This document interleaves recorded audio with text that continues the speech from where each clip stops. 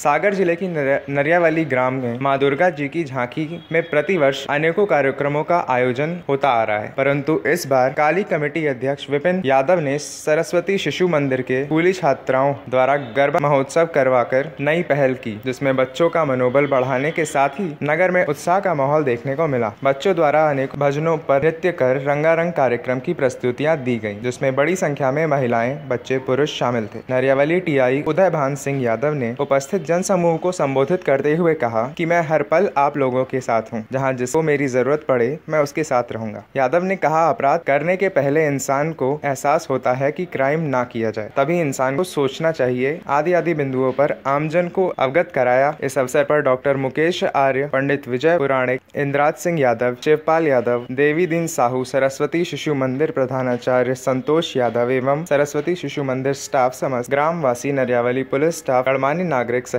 बड़ी संख्या में नगर एवं क्षेत्र के लोग शामिल थे। नरियावली से संजय तिवारी के साथ अमित मिश्रा की रिपोर्ट आप देख रहे हैं न्यूज़ व्यूज़ थ्री खबरें अलग अंदाज में।